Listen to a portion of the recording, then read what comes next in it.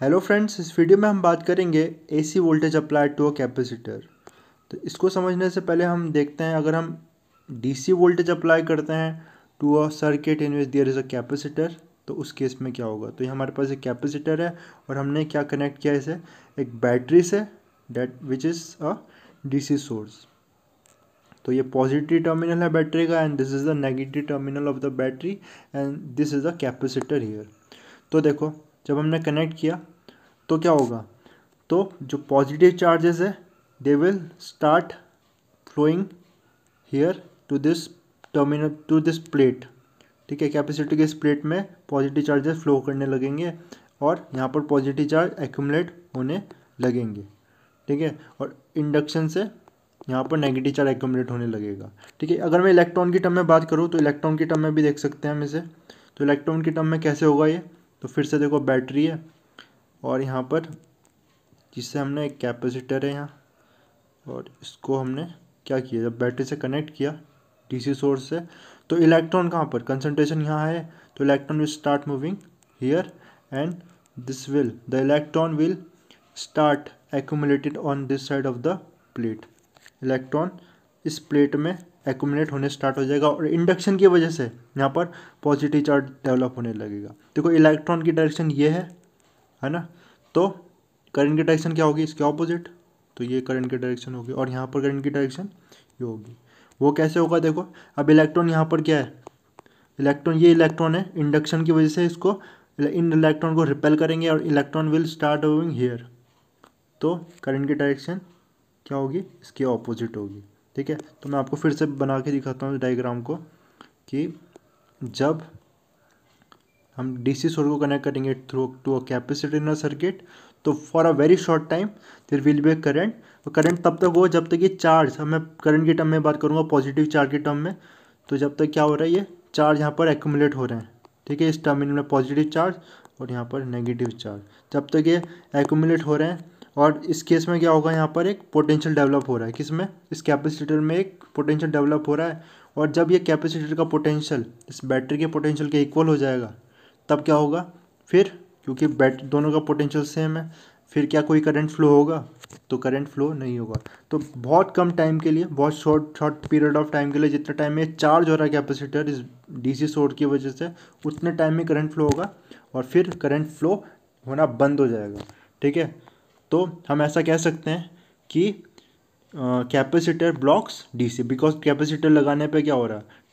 कोई current flow नहीं हो रहा। वो वो बहुत स्टार्टिंग में हुआ था बट बहुत short for a very short period of time इसके बाद, अब देखो हमने क्या लगाया। हमने एक एसी वोल्टेज अप्लाई किया टू दिस कैपेसिटर अब इस केस में देखो सपोज़ हमारा पहले पॉजिटिव टर्मिनल है पॉजिटिव हाफ़ साइकिल है। इसको देखो हम यहाँ पर समझते हैं। जो लास्ट में दिया है एन में, इसको यहाँ पर समझते हैं। ठीक है? अब देखो यहाँ पर पॉजिटिव हाफ़ साइकिल है। Positive half cycle of the AC ठीक है? इस केस में क्या होगा आप देखो charges positive charge will start moving accumulating on this side of the plate positive charge will start accumulating on this side on the positive half cycle तो current flow होगा और करंट मैक्सिमम स्टार्टिंग में होगा, जब यहाँ पर कोई charges नहीं है। ठीक है? जब यहाँ पर कोई प्लेट्स में कोई चार्ज नहीं है, तभी क्या होगा? यहाँ से positive charge will start accumulating on this side और करंट मैक्सिमम तब होगा। ठीक है? तो देखो आप जो साइकिल दिए यहाँ। तो करंट की वैल्यू हाईएस्ट कब है? ज़ीरो ज़ीरो में ज़ीरो टाइम पे। ठीक है? और यहाँ पर क्या हो रहा है? पोटेंशियल इंक्रीज़ होना स्टार्ट हो रहा है। पोटेंशियल यहाँ पर इंक्रीज़ होना स्टार्ट हो रहा है। ठीक है? और करंट क्योंकि क्योंकि यहाँ चार्ज क्या थे? ज़ीरो थे इस प्लेट में। और यहाँ पर यहाँ से चार्जेस एक्यूमुलेट होने स्टार्ट हो रहे हैं तो करंट मैक्सिमम होगा। लेकिन जैसे जैसे चार्जेस एक्यूमुलेट हो रहे हैं, इस प्लेट में चार्जेस एक्यूमुलेट हो रहे हैं, इसका पोटेंशियल क्या हो रहा है? इसका पोटेंशियल भी इंक्रीज इसके बराबर आ रहा है, ठीक है? जो हमारा एसी सोर्स का पोटेंशियल उसके इक्वल आने लग रहा है तो करंट की वैल्यू क्या होने लगेगी? करंट की वैल्यू डिक्रीज होने लगेगी। क्यों होने लगेगी? करंट की वैल्यू डिक्रीज बिकॉज़ यहाँ पर भी चार्ज एक्यूमुलेट हो रहा है, इसका पोटेंशियल इसके इक्वल आने लग रहा है। ठीक है तो ये चार्जेस क्या करेंगे आप? फर्दर चार्जेस को आने से रोकेंगे। ठीक है तो current flow current value decrease होने लगेगी। तो ये आपको डायग्राम में ये दिख रहा है। जैसे जैसे वोल्टेज इंक्रीज हो रहा है तो करंट की वैल्यू भी क्या हो रही है? डिक्रीज हो रही है। ठीक है, और जैसे ये पीक में पहुँचा पोटेंशियल तो करंट क्या हो गया? ज़ीरो हो गया। क्यों हो गया zero because at that time potential यहाँ पर और जो हमारे पॉजिटिव हाफ़ साइकिल है, ठीक है, उसका पीक में पहुँच गया। और यहाँ पर सेम पोटेंशियल आ गया, ठीक है? तो क्योंकि यहाँ दोनों में पोटेंशियल सेम आ गया, यहाँ तो करंट फ्लो नहीं होगा करंट की वैल्यू यहाँ ज़ीरो हो जाएगी, ठीक है? अब आगे देखते हैं। अब अब क्या होने लगा? जो पोटेंशियल है, वो डिक्रीज़ होने लगा, ठीक है? पोटेंशियल की वैल्यू डिक्रीज़ होने लगी। तो क्या होगा देखो? तो यहाँ पर पोटेंशियल मैक्सिमम है इस प्लेट में। प्लेट्स ऑफ़ कैपेसिटर में और यहाँ पर पोटेंशियल वैल्यू डिक्रीज होने लगेगी। तो अब करंट कहाँ फ्लो होगा? हायर पोटेंशियल लोअर पोटेंशियल तो करंट की डायरेक्शन क्या होगी? ये होगी करंट की डायरेक्शन क्योंकि यहाँ पोटेंशियल यहाँ ज़्यादा है और यहाँ पोटेंशियल डिक्रीज होने लग रहा है। ठीक है, ये साइकिल आ रही है ना हमारी पोटेंशियल की, देखो, कौन सी साइकिल आ रही है? पोटेंशियल ये वोल्टेज अब डिक्रीज हो रहा है। तो हमारे यहाँ पर जहाँ पर हमने एसी अप्लाई किया है। तो यहाँ पर पोटेंशियल डिक्रीज हो रहा है और इस प्लेट में पोटेंशियल मैक्सिमम पहुँच चुका था, क्योंकि चार्ज हो चुका था। इसको इसको, इस साइकिल को हम बोलेंगे, इस पार्ट को चार्जिंग बोलेंगे बिकॉज़ यहाँ कैपेसिटर चार्ज हो रहा था, और इसको क्या बोलेंगे? इस केस में डिस्चार्ज होगा बिकॉज़ जो चार्ज एक्यूमुलेट हुआ था वो अब लूज़ कर रहा है कैपेसिटर ठीक है, और करंट अपोजिट डायरेक्शन में फ्लो करेगा। इसके बाद देखो, अब इसके बाद जब पोटेंशियल ज़ीरो पहुँच जाएगा, ठीक है तो करंट और करंट की डायरेक्शन रिवर्स हो गई, ये भी हम ग्राफ से दिख रहा है। करंट की डायरेक्शन भी रिवर्स हो गई और जब पोटेंशियल ज़ीरो पहुँच जाएगा तो करंट मैक्सिमम पहुँच जाएगा। ठीक है अगेन वही चीज़ स्टार्ट होगी बट इस बार अब पोटेंशियल क्या हुआ? Potential negative half cycle start हो गई पोटेंशियल की। अब हम इसे मैथमेटिकली देखते हैं। तो सपोज़ टी टाइम पे इस कैपेसिटर पे कितना चार्ज है? क्यू चार्ज है। तो वोल्टेज कितना होगा इस कैपेसिटर के अक्रॉस वोल्टेज होगा क्यू बाय सी ये हमने सेकेंड चैप्टर से में देखा था। इसके बाद हम किरचॉप सेकंड रूल जो है, वो लूप रूल, वो अप्लाई करते हैं। तो देखो, लूप रूल अप्लाई करेंगे तो हमें क्या पता है कि summation of V zero across a loop तो देखो इसमें, इस पे पोटेंशियल कितना है, जो हमारा सोर्स है, हमारे सोर्स का पोटेंशियल है V M sine omega T voltage जो हमारे सोर्स की है, वो ये है, ठीक है, और कैपेसिटर का हमने अभी देखा V is equal to V is equal to what V is equal to Q by C ठीक है? अगर समेशन उस लूप में अक्रॉस जो वोल्टेज है, वो अगर ज़ीरो आएगा सम तो क्या होना चाहिए? इसके लिए ये दोनों इक्वल होना चाहिए। V M sine omega T is equal to Q by C ठीक है? तो इससे किरचॉफ लूप से क्या आ गया? V M sine omega T is equal to Q by C अब हमें पता है जो करंट है करंट कैसे होता है? Current is rate of change of charge ठीक है? तो I is equal to D Q by D T और यहाँ से मैं क्या करता हूँ? क्यू की वैल्यू का फाइंड आउट कर लेता हूँ। V M V sine omega sorry Q is equal to V M C sine omega T ठीक है? और इस क्यू को टाइम के रिस्पेक्ट में डिफ्रेंशिएट कर दूँगा तो क्या आ जाएगा मेरा? आई आ जाएगा। तो उसको डिफ्रेंशिएट करूँगा D Q by D T तो क्या आ जाएगा?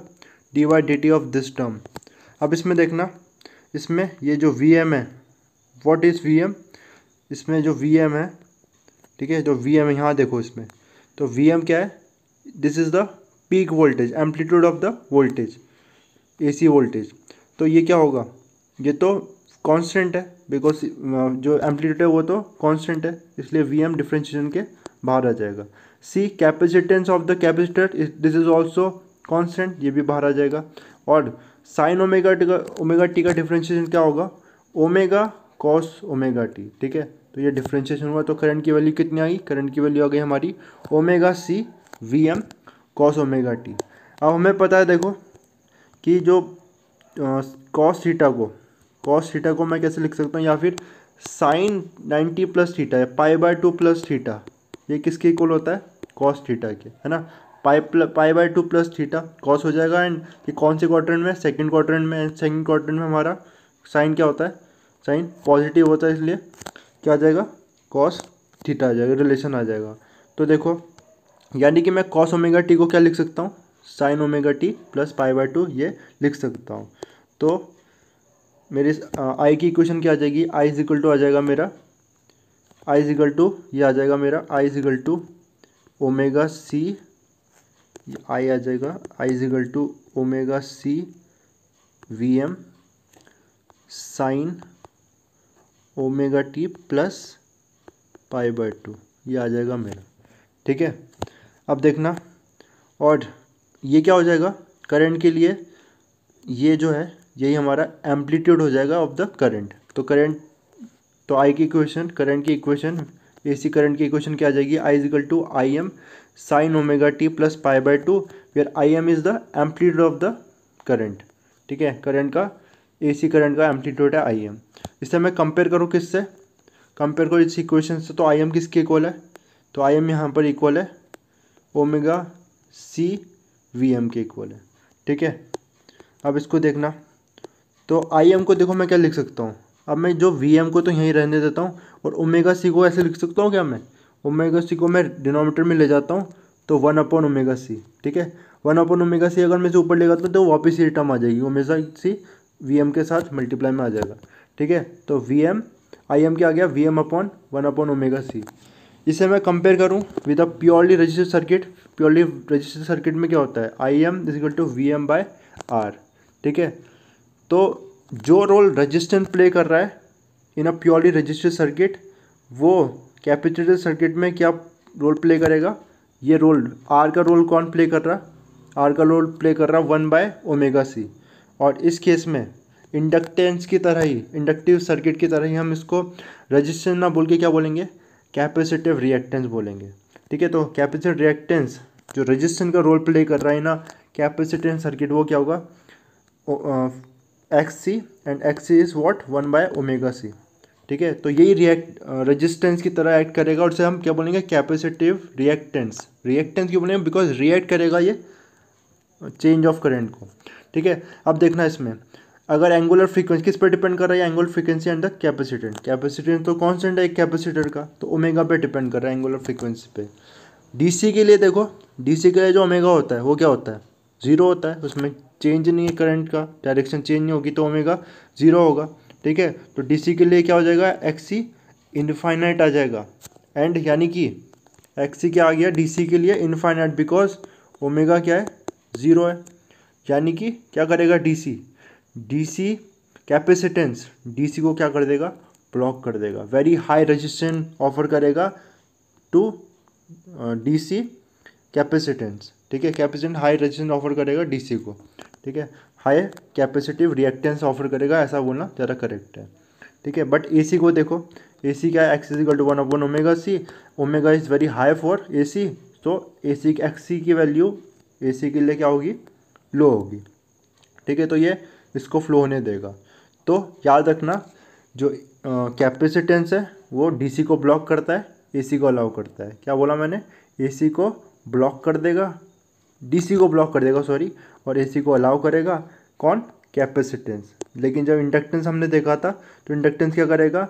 डीसी को अलाउ करेगा बट एसी को ब्लॉक कर देगा, ठीक है? एल सी आर सर्किट में हम इसको और अच्छे से समझेंगे। अब देखो इसके बाद तो यहाँ पर हम क्या लिख सकते हैं? आई एम को amplitude of the current is equal to V M upon X ये लिख सकते हैं। इसके बाद, और जो डायमेंशन होगी कैपेसिटेंस रिएक्टेंस की वो रजिस्टेंस की डायमेंशन होगी और उसकी ऐसा यूनिट क्या होगी? ओमी होगी। ठीक है? और इसके बाद इसके बाद हम इसे फेजर डायग्राम से भी देख सकते हैं। इसका फेजर डायग्राम बना है। एक और चीज़ जो बहुत इंपॉर्टेंट है वो क्या है कि जो करंट है, वो वोल्टेज से इसमें पाई बाय टू लीड कर रहा है। ठीक है? पाई बाय टू एंगल से लीड कर रहा है वोल्टेज को। जबकि इंडक्टेंस में क्या था? इंडक्टेंस में करंट लैग कर रहा था वोल्टेज को पाई बाय टू से। ठीक है, उसमें वोल्टेज लीड कर रहा था, इसमें करंट लीड कर रहा है पाई बाय टू एंगल से। तो फेजर डायग्राम में आप देख सकते हो फेजर डायग्राम में ये वोल्टेज का फेजर है and this is the voltage phasor of current तो पाई बाय टू से लीड कर रहा है करंट ठीक है, क्योंकि ये clock anti clock wise rotate कर रहे हैं फेजर ठीक है अकॉर्डिंग टू दिस ग्राफ ठीक है। अब इसमें नेक्स्ट चीज़ हम देखते हैं पावर की बात कर लेते हैं, ठीक है। पावर की बात हम करते हैं। तो पावर हमें पता है पावर क्या होता है? Power is I into V और आई की value for A C current will be I M cos omega T and V will be V M sine omega T I M और V M को हमने साथ में रखा तो cos omega T sine omega T अब हमें पता है कॉस थीटा देखो two cos theta two cos theta sine theta two sine theta cos theta क्या होता है? ये आपको पता है मैथमेटिक्स से साइन टू थीटा ठीक है? तो मैं क्या करता हूँ इसमें? टू से मल्टीप्लाई भी करता हूँ टू से डिवाइड भी करता हूँ। तो क्या आ जाएगा? ये ऊपर वाला पार्ट आ जाएगा। Sine omega T sine two omega T and upon two ठीक है? तो पावर क्या आ गई? इस केस के लिए I M V M by two sine omega T ठीक है? तो ये इंस्टेंटेनियस पावर आ गई किसी भी एक इंस्टेंट पे, है ना? और अगर एवरेज पावर निकालनी है पूरे कंप्लीट साइकिल के लिए तो क्या करेंगे? इसको एवरेज ले लेंगे इसका। हमने ये देखा था प्रीवियस वीडियोज़ में। ठीक है? तो इसका एवरेज लेंगे। अब देखो, ये तो तो कांस्टेंट है। I M V M by two ये तो सारे कांस्टेंट है। तो एवरेज कर लेना पड़ेगा साइन टू ओमेगा टी का। और देखो, एक कंप्लीट साइकिल के लिए साइन फ़ंक्शन का एवरेज कितना होगा? ये ज़ीरो होगा। जितना पॉजिटिव है, उतना ही नेगेटिव है। तो sine function for a complete cycle will be zero तो power in a purely capacitor circuit in a complete cycle is zero power dissipated will be zero same inductor के case की तरह ही है। ठीक है? तो ये सारी चीज़ थी हमने देखा इसमें प्योरली कैपेसिटर सर्किट में इसे जब अप्लाई करेंगे, ये थी। नेक्स्ट वीडियो में हम बात करेंगे एलसीआर सर्किट की। Thank you